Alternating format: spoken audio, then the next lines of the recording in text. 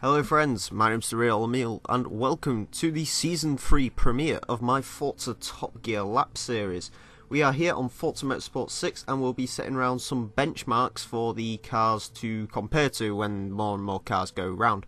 First thing I wanted to say is any painters in the Forza community who are interested in painting me a car for this sort of starting sequence, I would very much appreciate uh, a painter to paint me a car. I painted the last ones I used in Forza 5, uh, but I haven't really had time to paint a different sort of car, so I'm just using this BAC Mono as it's one of the cars that's going to be going around today as well. Anyway, I figured I would start off by just showing you the changes to the Top Gear track. There are multiple changes to the track from Forza Motorsport 5, and I figured I would use this first lap to illustrate them. This is Ford Mustang 2015, 421 horsepower, 3,618 pounds of weight.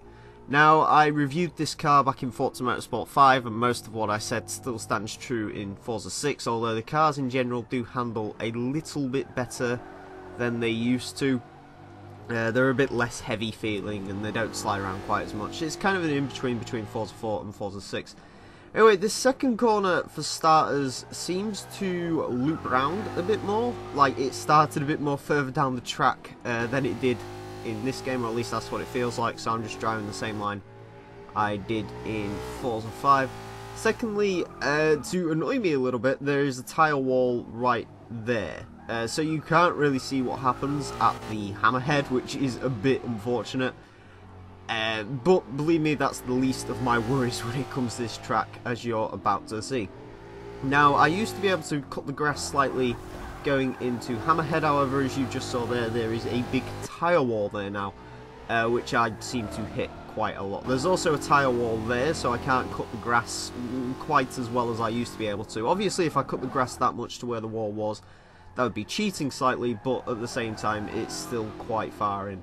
And finally, the most annoying thing, there's a tire wall right there, so I can't really cut the grass like you're kind of supposed to around this track. So that does make driving these cars a little bit harder. Anyway, first car up today, or second car even, is the BAC Mono, 280 horsepower, 1,354 pounds of weight, engine from the Ford Galaxy People Carrier in this BAC Mono. Now, the Mono's a car I'm not particularly keen on, or wasn't. Um, I'm not a huge fan of track cars to begin with, and this one doesn't really interest me. I don't particularly like the look of it because, well, it's just a space frame, and I'd much rather have an Ariel Atom. However, I do have to say I've driven this quite a bit in the career mode and, of course, doing the laps, and this is a fantastic handling car. The track cars are actually a bit improved from Forza 5. They were a bit too slidey in 5, and believe me, you can still get these ones sideways, no problem. However, they don't quite do it as willingly anymore, so they are a bit better through the corners. The Mono is the nicest handling track car I've driven so far. And yeah, it was pretty damn good. It surprised me how quick this was, but then again, I'm not quite sure why, considering I believe this is the second fastest car on the Top Gear track at the moment. Yeah, hugely fast. This is top of A class, by the way, and it's relatively cheap, so definitely give the Mono a go. Next that we have a McLaren MP4-12C, 592 horsepower, 3,031 pounds of weight. For those of you who watched the Forza 5 uh, series will know that the MP412C is a damn fast car around our leaderboard. I believe it got to 17th, uh, which is really, really good considering this is just kind of an ordinary supercar. Uh, supercars, I haven't really driven too many on Forza 5 so far. I'm not that far through the career mode yet. I do have to say the 12C does seem a little bit more well behaved, although it does drive fairly similar to what it did on Forza 5. Uh, which means is one of these cars that sort of catches you out. You don't feel like it's going particularly quickly. It just feels like driving a supercar. However, when you sort of look at the times, you go, wow, really, is it going that quickly? And yeah, it's another sort of situation uh, like that. Uh, 12C is relatively well behaved anyway, pretty damn decent car to drive. Uh, I think this is going to be one of the more overlooked supercars in this game now, just because the 650S is in the game, and of course the 650S will be going around at some point. I'm trying to use sort of cars uh, without trying to sort of sound um, favoritism, almost, have a favoritism view. Uh, a Saleen S7, by the way, 575 horsepower, 2,756 pounds. I'm genuinely going to be slower for the first couple of episodes of this. I'm trying not to use cars that people get too angry about, you know, saying, ah, you could have got a faster lap time with this. Uh, I'm just trying to avoid that at the moment. Anyway, the S7 was next. I believe this is an S-Class car, mid-S class actually now, so it's a bit higher PI than it was in 5. The Saleen S7 is a superb handling car. Um, it really does catch you out, this, because it's one of these hypercars that you don't necessarily look at. You wouldn't uh, sort of buy the S7 intentionally almost, just because it's so easily to forget about the car. However, it's a superb handling car, it's got massive top speed. I believe this does about 230 miles an hour, which for a 2004 hypercar isn't too bad. It looks pretty damn good, and it drives really well. My only issue really with this is the gearing is quite long. This is of course due to the fact this is sort of more of a top speed car. Uh, this car, I didn't go past third gear in it, and I did about 140 in third gear. That was about the fastest I got the car. Next up we have a car that didn't actually get thrown around in Season 2, and this is the Lotus Esprit V8. 350 horsepower, 2,851 pounds. Uh, I just sort of ended up forgetting about this car, I think. Which is a shame, because the Esprit is one of my favourite sports cars ever. I, I do like the V8 Esprit, actually. I, I would quite like to get one of these in real life. Um, because they're hideously unreliable. Anyway, uh, unfortunately the lights aren't on so you can't see amazing pop-up headlights, but the Esprit V8 is fairly decent to drive. There's no understeering in this thing because it's quite light, it's got a decent amount of power. It's quite a low-class car, I believe this is a B-class car, however, of course, it's an older supercar. Not particularly quick in a straight line, 170 miles an hour is the top end for this car. Um, but it is very cheap actually. I believe it's under 50,000 credits. so definitely give the Esprit V8 a try if you haven't already, because it's damn near cheap.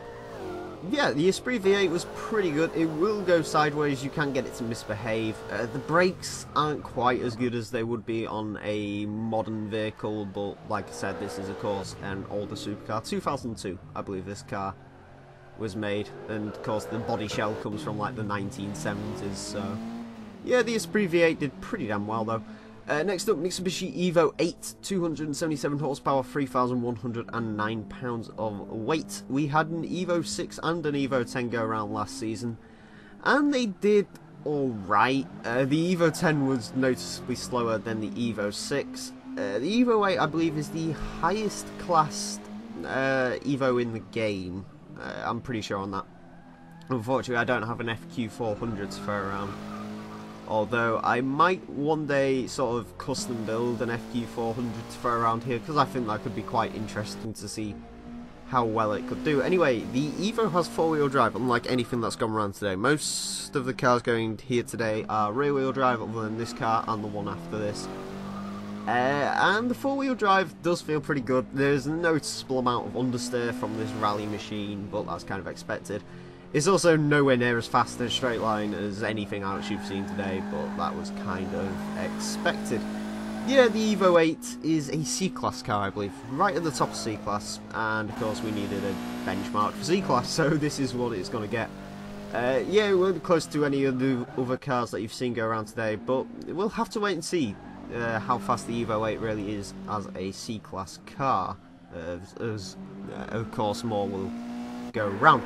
And finally today we have the Mini John Cooper Works Cooper GP, 215 horsepower, 2,557 pounds of weight.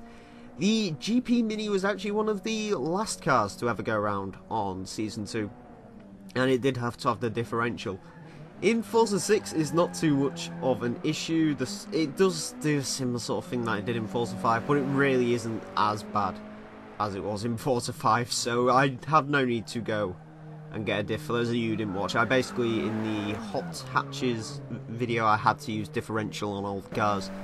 Because in Forza 5, if you tried to turn a corner, basically the car would just go ridiculously through the rev range, and it wasn't... it doesn't feel like it would do that in real life, so I put the differential on it.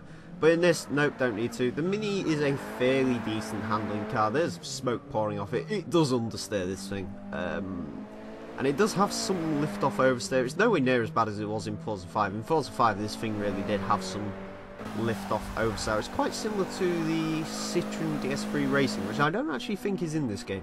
Uh, I, I, don't know, actually. I haven't actually looked for it. Uh, but the Mini did reasonably well for a hot hatch. It hasn't got too much power, so it's not ridiculously awful to drive. And yeah, I, I, can't really say much about the Mini. Uh, we'll have to wait for some other hot hatches to go around before we can really start to see where that car is compared to the others. Anyway, on to the times, and amazingly, the BAC Mono goes into first with a 115.125. That's extremely quick. I was not expecting the Mono uh, to get up there. It beats the Saleen S7, which is a higher PI car by about 60 points, uh, which got 115.302. Beats the McLaren MP412C, with, which got 115.583. And we know that's an excessively fast car, the McLaren. Esprit V8 120.545, Mustang 123.634, Evo 8 125.897, and the Mini Cooper 127.767. Um, so yeah, there you go. There's some benchmark times. Anyway, I figured I would compare these to the times set in Forza 5, and the Saleen is 600 milliseconds quicker. 12C is 800 milliseconds quicker, which is quite surprising considering that was a really fast time in Forza 5.